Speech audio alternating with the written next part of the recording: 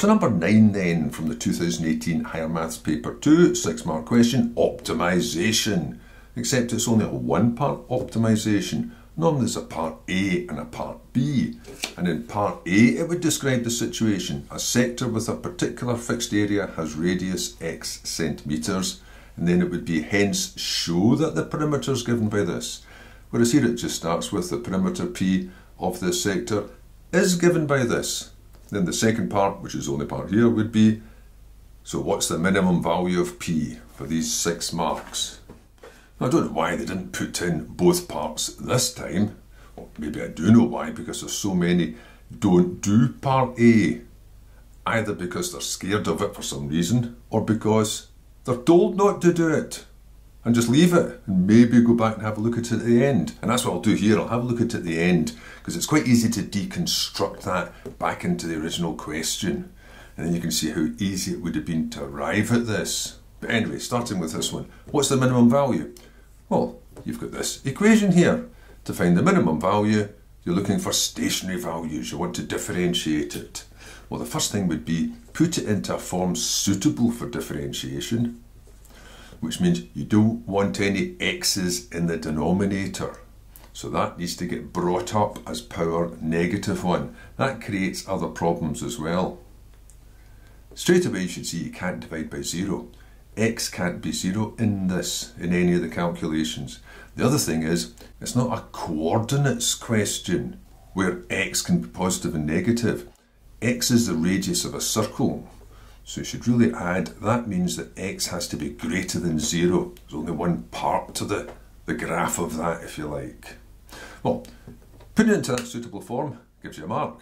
And then differentiating it, dp by dx, p dashed, I'll put p dashed. Oops. That's always a better form because then if I want to evaluate p dashed, that'll show the value of x that you're putting in. Well, that will go down to just 2 multiply by the power, so minus 128. Take 1 off the power, drops to negative 2. Now, that would be the second mark, except you're going to be using it. So you may well get the mark there, but you should really put it back into the form of over x squared. Put it back the way you found it.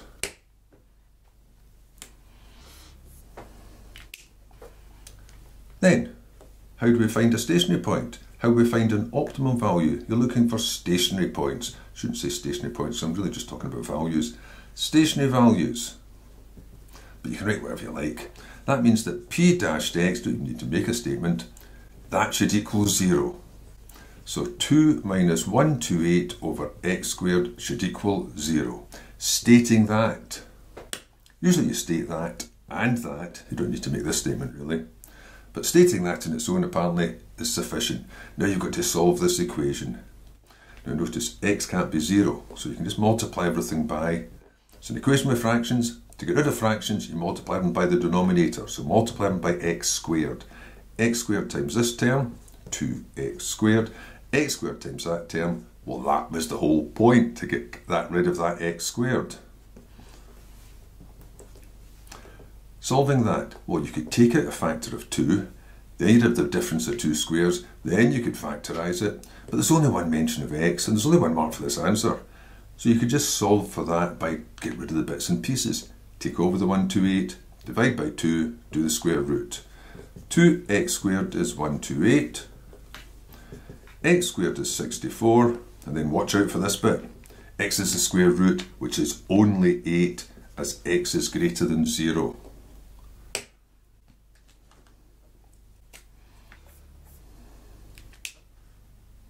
Don't pick out a negative 8 and put a negative 8 into it. Then you won't get the last couple of marks. Now, even though it said find the minimum value, you still have to justify it's a minimum, which means you need a table of signs. Now, the table of signs can be a bit of dangerous territory here, because this function is broken at x equals 0. If you were to draw the graph of this, for all values of x, it would look like this. You should know that when you divide by zero, it shoots off to infinity. So on this side, it would look like this. As you get closer to zero, it shoots up. It would end up looking like this. And obviously that's the value you're looking for. On the other side, it would look like this. It's broken there, and whenever you've got broken graphs, they're called discontinuous graphs, you can't make your table of signs up. If you have decided here to put plus or minus 8, with a minus 8 and an 8, and treat it as if they're continuous in between. If you do that, you won't get this mark for the table of signs.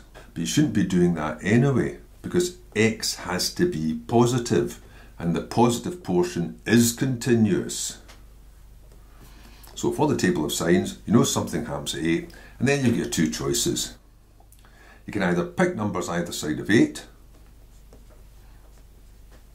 you put them in, or maybe you would write 8 plus and 8 minus, and then just pick numbers either side of 8, which is not what 8 plus and 8 minus means. I'll just pick numbers either side of 8. So 10 for instance, ach why not, if you're using your calculator, just go for 9 and 7. So that's the value of x. You're going to work out p dashed of x, not its actual value, just its sign, so you can get the shape of it. You don't need to write in shape, usually just leave that part out. But you can put shape in if you want to feel safe. Now you know the answer there should be zero. You have to put this bit in. You should really put in both, but you have to put in this bit to show what these numbers stand for. Now if you're picking numbers, put them into a calculator. When you work that out, you don't need to show this answer, it comes to a negative. You should just double check your calculation. And when you work this one out, it comes to a positive, which means it goes like this, which means you've got a minimum at x equals 8.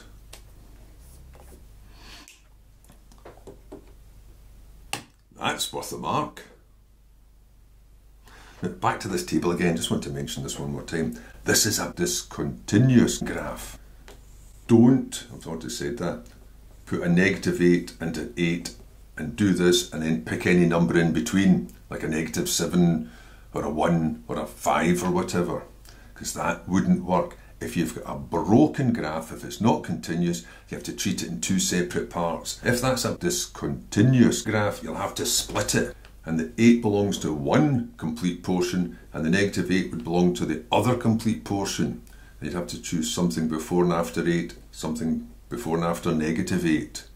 Remembering that it's discontinuous at 0. Now, the safest way to do that, if it was a complete coordinate question, is if you know there's something dangerous about the graph, stay close to home. That's why you write that business of 8 plus and 8 minus.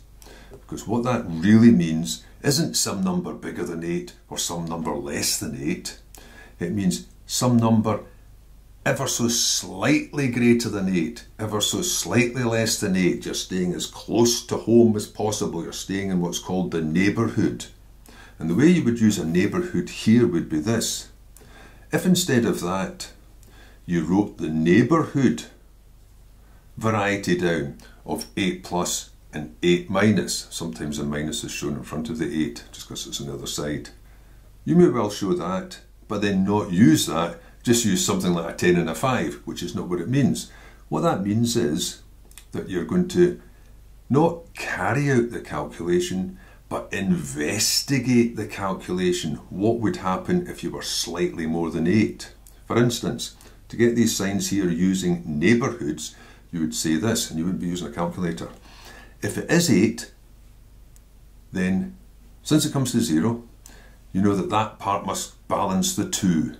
So that if you make x slightly bigger than 8, the denominator will be bigger than it should be, so the answer to division will be smaller than it should have been, which means you'll end up with an answer which is slightly less than 2, so when you subtract it you get a positive. Similarly, if at 8, that's the correct amount for the denominator to make this equal 2, then if you choose a number slightly less than 8, you've got a smaller denominator, it goes in more times, you've got a slightly bigger number, and if you take a number slightly bigger than 2 away from it, it'll be negative. Anyway, you can avoid that problem if you use the second derivative.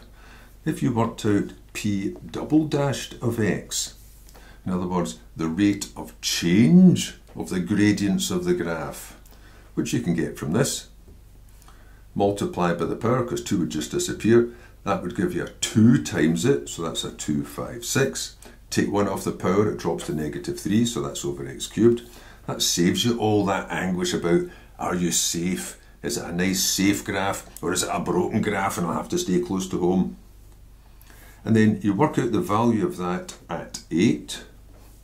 So you've got 256 divided by 8 cubed. You don't actually need to work that out because that's a positive number and that's a positive number and all you're interested in are signs and that number is greater than 0. And if the rate of change of the gradients is greater than 0, that means the gradients are becoming more positive. So the gradients are going like this, which means you've got a minimum. That's an alternative for that mark. Anyway, that was a big diversion. What's the minimum value of p? p minimum. That'll be 2 times 8, remember use that, not this, plus 128 over another 8. So that's 16 plus 116, so that's 32 and it was in centimetres. And there's the last mark. So what could part A have been if they'd asked you? And I don't see why they didn't, because it is quite straightforward. Well, it would have been this. You've got a sector of a circle of radius x. Its area is 64 centimetres squared. Show that the perimeter of that sector is given by this expression. And then you would just say this because you've got fractions of a circle. So the length of that arc, if we just call that A, the length of that arc will be a certain fraction of the circumference. And the circumference would be 2 pi times x. Or if you wanted to use the pi d form of it, pi times 2x. What fraction have you got? Well, that slice has got an area of 64. The complete area is pi r squared. So that's pi x squared in this case. Cancelling that down, the pi's go, one of the x's go, so you're left with a 1, 2, 8 on top and an x underneath. So what's the perimeter given by? It's given by the three parts that go all the way around the shape. An x, an x and an arc. It's going to be two lots of x plus the arc which is 2x plus 128 over x. Now that should have been fairly straightforward because it's just like something out of a National 5 exam.